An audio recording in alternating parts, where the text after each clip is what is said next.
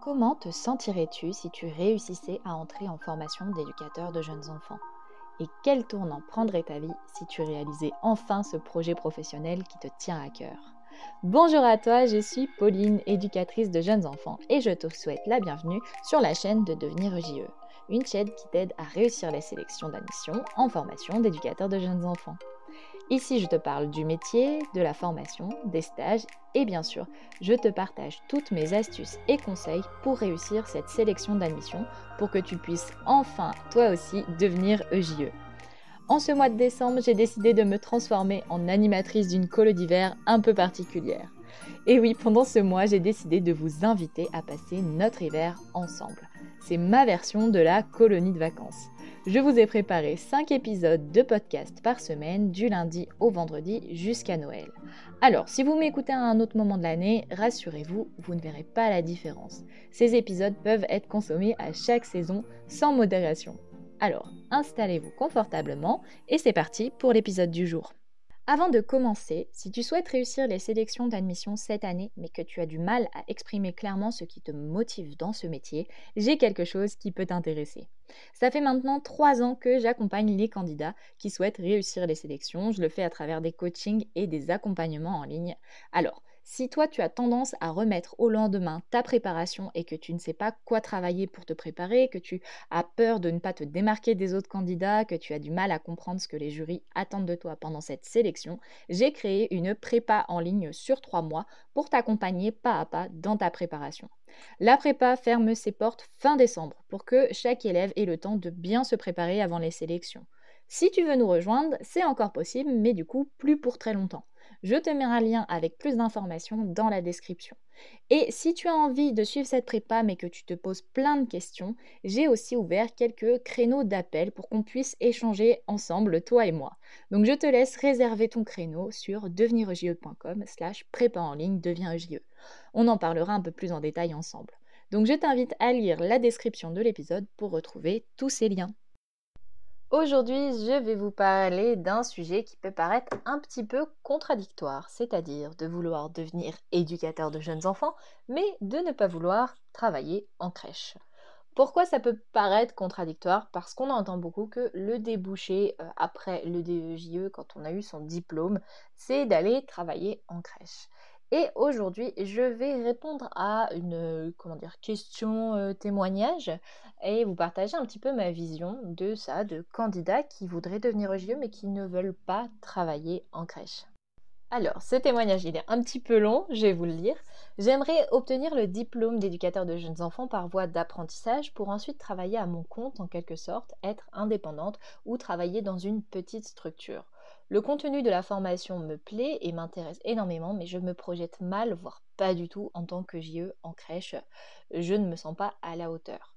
Je souhaiterais après le diplôme me spécialiser vers la formation Montessori et ou dans l'accompagnement à la parentalité mais je ne sais pas comment défendre mon projet lors de l'entretien oral pour entrer dans l'école.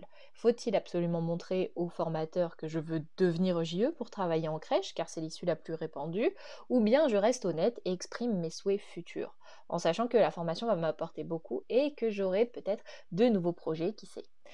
Alors, ce que j'aime beaucoup dans ce témoignage, c'est qu'il reste quand même assez ouvert et je trouvais ça euh, hyper intéressant parce que je rencontre beaucoup de candidats qui ne veulent pas forcément travailler en crèche. Et ça se comprend, chacun a un peu son projet professionnel. Donc, je vais vous parler un petit peu de ça et surtout, je vais vous expliquer si le fait de ne pas vouloir travailler en crèche, ne pas vouloir être GE en crèche, c'est un frein au moment des sélections au moment de la formation et au moment ensuite bah, des débouchés pour trouver un métier. On va parler un petit peu de ces trois étapes-là et du fait d'être EJE e sans travailler en crèche. Alors, avant de commencer à vous parler de ces trois étapes, je voulais d'abord vous rappeler un élément qui me semble hyper important.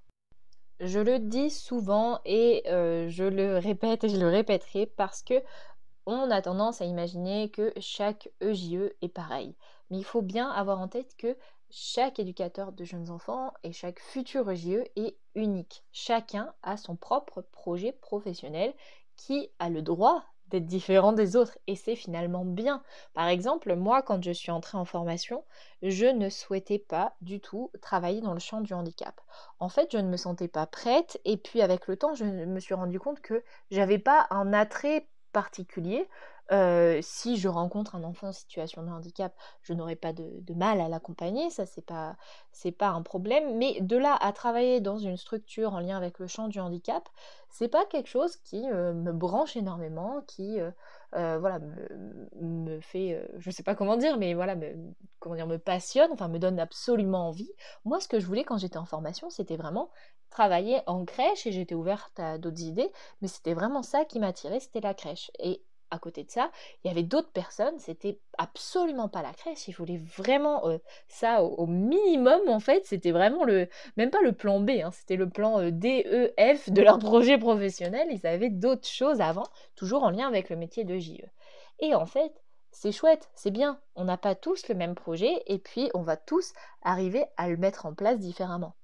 Donc moi qui avais plutôt envie de travailler en crèche, j'ai orienté mes stages dans ce sens-là. J'ai euh, vraiment euh, appris ce que je souhaitais en apprendre. Et puis il y avait d'autres personnes qui ont orienté leur stage dans des, bah, le champ du handicap par exemple, dans plein d'établissements différents. Et euh, bah, tant mieux pour eux parce qu'ils se sont vraiment épanouis là-dedans. Donc tout ça pour dire qu'il n'y a pas un chemin unique, un seul projet professionnel possible quand on devient EJE.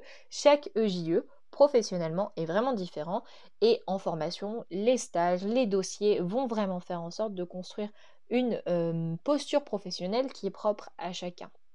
Ensuite, au-delà de l'aspect professionnel, il y a aussi l'aspect personnel. On est tous uniques parce qu'on a tous des personnalités qui sont différentes, des vécus, des parcours différents.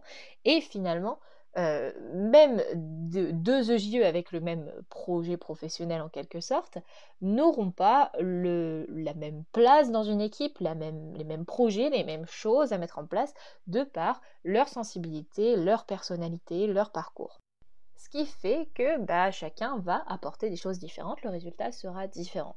Donc déjà, euh, je tiens beaucoup, euh, peut-être que vous m'avez déjà entendu le dire, à un petit peu déculpabiliser des personnes sur ça. Chaque JE étant différent, on est libre d'avoir son propre projet professionnel tant qu'il correspond bah, au métier d'éducateur de jeunes enfants, parce que s'il ne lui correspond pas, autant aller directement dans la voie euh, en question. Hein. Les jurys vont sélectionner aussi sur ça, s'assurer que ce soit bien en lien avec le métier de JE.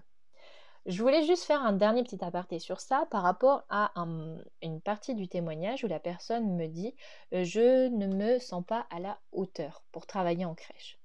Ça, le fait de ne pas se sentir à la hauteur, je ne sais pas ce qu'elle entend exactement, mais si elle ne se sent pas à avoir les comment dire les compétences pour travailler en crèche, si c'est qu'une question de compétences, ce qu'il faut savoir c'est que les compétences, ça s'apprend. Donc tout va bien. On peut, même si on ne sait pas exactement euh, comment faire, on a peur de ne pas réussir, on peut acquérir des compétences sur bah, l'accompagnement de l'enfant en crèche, sur euh, le, travail de, projet pédagogique en crèche en tant que JE, tout ça, ça s'apprend sur le terrain, la formation est là pour ça. Donc si vous avez un petit peu cette peur de ne pas être à la hauteur sur ce lieu-là, c'est quelque chose qui peut se travailler. Ça peut être aussi une sortie de zone de confort qui est intéressante, hein. mais euh, voilà, c'est pas la même chose que si juste on n'en est pas euh, passionné, on n'a pas la grande envie, euh, le, je sais pas comment dire, l'attirance.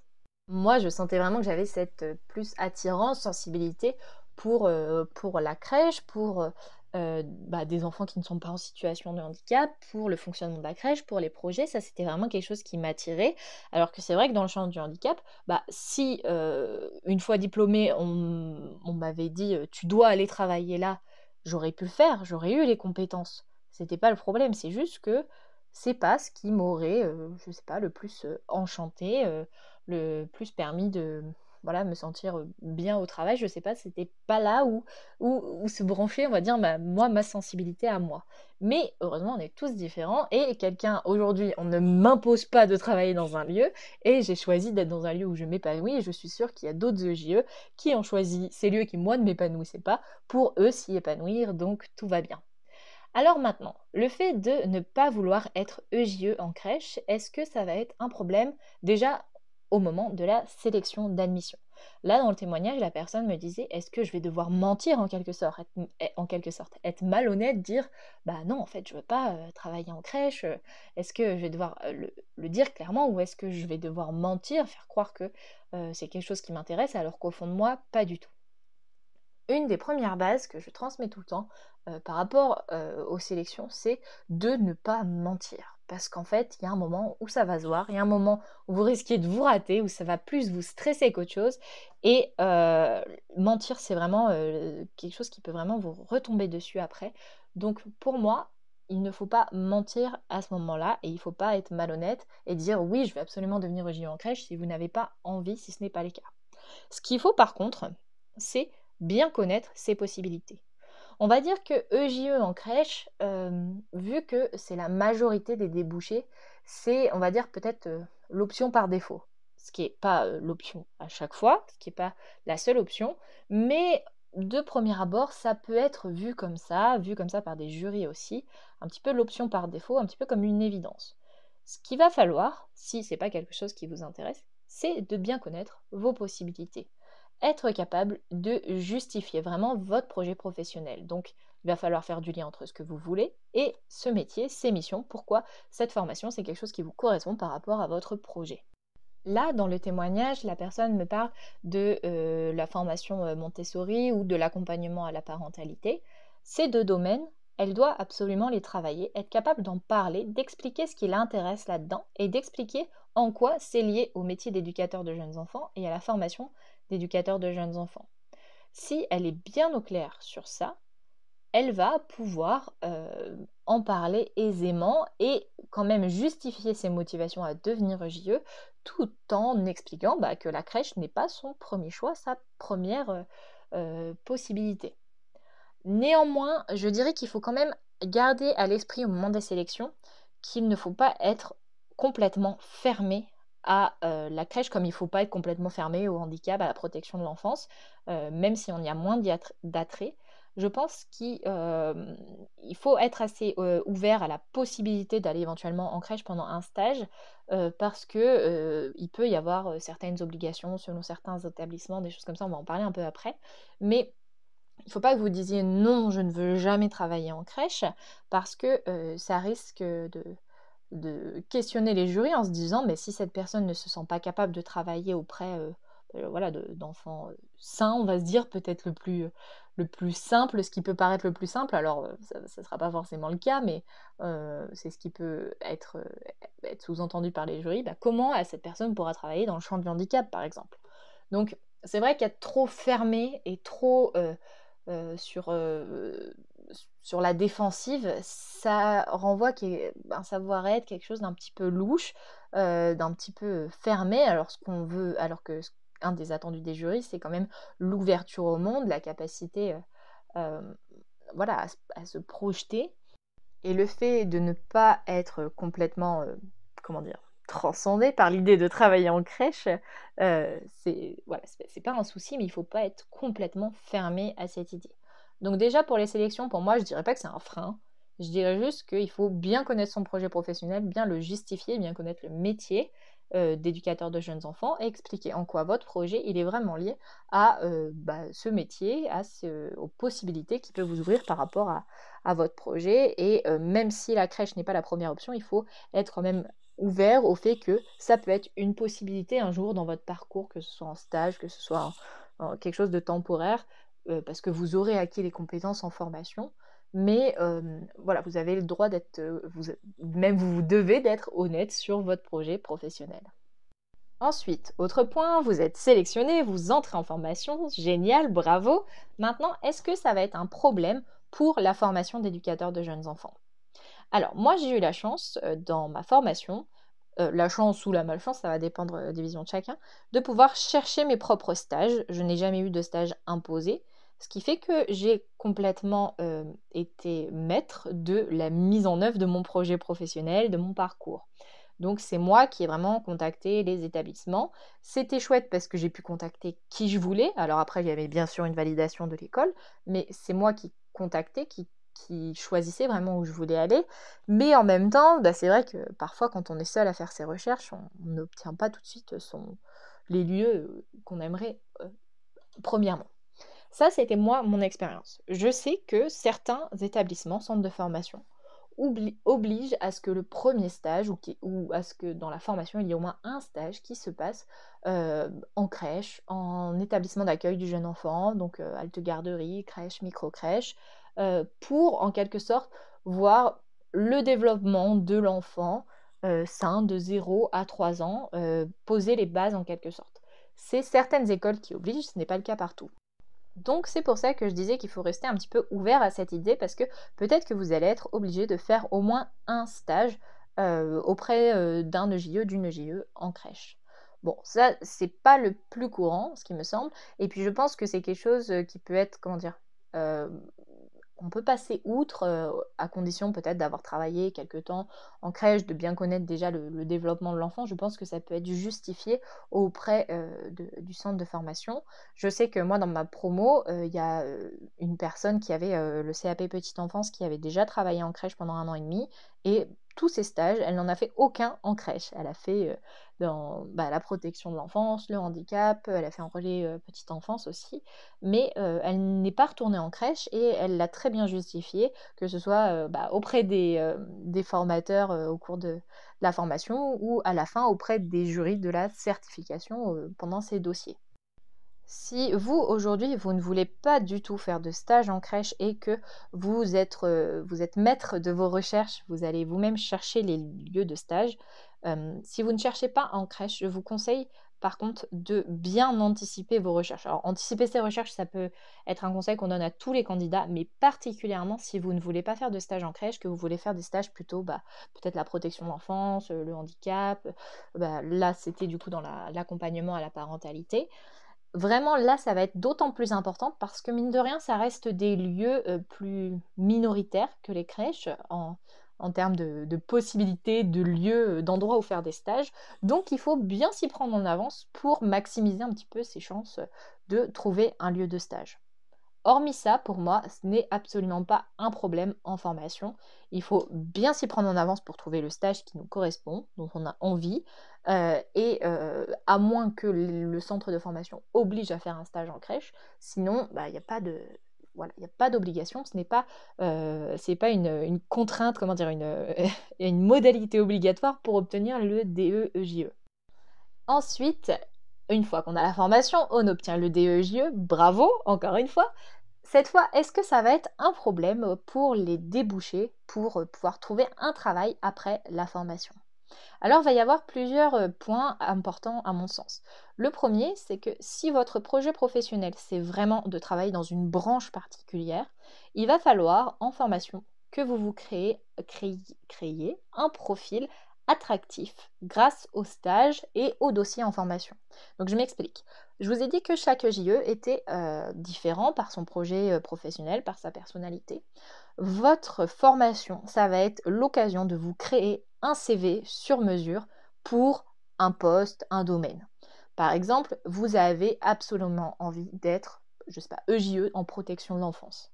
Vous allez faire en sorte que vos stages soient peut-être majoritaires ou qu'il y en ait au moins un qui soit en lien avec la protection de l'enfance pour que une fois que vous soyez devant le recruteur, vous puissiez dire moi je suis une JE, mais c'est, la protection de l'enfant c'est vraiment un sujet euh, qui m'intéresse parce que j'ai fait tel stage, j'ai vécu telle chose, j'ai écrit tel dossier. Vous allez avoir un profil attractif pour ce poste plus qu'une personne qui a fait bah, tous ses stages en crèche et qui une fois euh, diplômée décide euh, de postuler dans la protection de l'enfance. Vous aurez en quelque sorte les mêmes compétences, les mêmes connaissances, mais vous, avec votre profil plus attractif, vous aurez un petit euh, plus, un petit, euh, euh, voilà, quelque chose qui attire vraiment les recruteurs à vous sélectionner vous parce que vous avez déjà orienté votre projet professionnel là-dedans. Ensuite, deuxième point, ces stages, ça va être l'occasion de créer un profil attractif et aussi, aussi de créer un réseau qui va vous être indispensable ensuite après la formation. En formation, on sous-estime souvent euh, l'importance du réseau pour trouver un travail. quand on est en formation, on va nous dire non, mais de toute façon, les débouchés, la majorité du temps, c'est en crèche, voilà, trouver directement après le diplôme un poste à l'hôpital, en protection d'enfance, c'est super rare, c'est impossible. Vous allez tout entendre pour vous dissuader. De ce que j'ai vécu, ce n'est pas vrai. Quand on est en formation et qu'on fait des stages judicieux par rapport à son projet professionnel, on se crée un réseau et on peut utiliser ce réseau ensuite pour être embauché dans ce domaine. Par exemple, je connais une éducatrice de jeunes enfants qui a fait son stage long dans une maison d'enfants à caractère social. Il n'y avait pas de JE pendant son stage long, uniquement des EduxP. Puisque euh, l'établissement s'est rendu compte de l'intérêt euh, des connaissances qu'apportait cette EJE, ils ont décidé de créer un poste d'éducateur de jeunes enfants et ils l'ont embauché dessus. Donc c'est possible. Je connais aussi une personne qui a fait la majorité de ses stages plus en lien avec euh, euh, le handicap et l'inclusion du handicap, elle a réussi en sortant euh, de, formation à être embauchée. Pareil, ils lui ont créé un poste en fait dans un, lieu où voilà, c'est plus en lien avec l'hôpital, mais toujours dans le champ du handicap, un endroit où elle avait fait un stage de 8 semaines, je crois que c'était en deuxième année, et elle a été embauchée ensuite. Donc tout est possible et le fait de multiplier les expériences dans un domaine, ça va faire en sorte que bah, les personnes, quand elles vont vous embaucher, elles vont communiquer entre elles et elles vont se rendre compte qu'il y a de la cohérence dans votre parcours et que c'est toujours le, même lieu, le même, endroit qui vous intéresse. Donc là, par exemple, pour la personne qui parlait de euh, euh, travailler euh, plus dans la pédagogie Montessori, l'accompagnement à la parentalité, il y a plein de possibilités de stages, mais par exemple, faire un stage en crèche avec une vraie volonté projet Montessori, ça peut être hyper intéressant. Puis ensuite un stage plus dans une école Montessori, puis plus autre chose en lien avec l'accompagnement à la parentalité, le partage sur euh, la mise en place de, Montessori à la maison, voilà, d'initiatives de, ce type. Elle peut euh, complètement construire un projet professionnel en lien avec ça, tout en gardant euh, une expérience en crèche pour ne pas être dépaysée si par la suite elle doit travailler en crèche. Et le troisième point par rapport aux débouchés, il faut euh, être conscient que effectivement la majorité des postes d'éducateurs de jeunes enfants se trouvent en crèche parce qu'en fait la crèche c'est le lieu où c'est obligatoire d'embaucher un EJE. En protection de l'enfance, dans le champ du handicap, c'est pas obligé d'avoir un EJE, ça peut être euh, EduxP, euh, souvent on dit un poste d'éducateur. Donc là, effectivement, vu que c'est obligatoire d'avoir des EJE dans un certain quota, forcément il va y avoir des postes. À d'autres endroits, il faut quand même parfois oser pousser des portes, oser dire bah, en fait les, mes compétences d'éducateur de jeunes enfants, mon profil font que je suis euh, complètement euh, compétent pour ce poste et vous devriez m'embaucher. enfin peut-être pas comme ça, mais il faut oser aller euh, toquer, postuler sur des lieux où vous savez que vous aurez toute votre place, mais où les recruteurs ne savent peut-être pas encore. Autre point, vu qu'il y a parfois un petit peu moins de débouchés, il faut pouvoir être peut-être plus mobile ou alors proche de grandes villes. Si par exemple vous avez absolument envie de travailler dans le champ du handicap et que vous êtes perdu en pleine campagne, il y a très peu d'établissements de base, donc forcément il y a aussi très peu de postes. En revanche, si vous êtes plus proche d'une ville, là vous aurez plus de lieux, de possibilités d'endroits où postuler.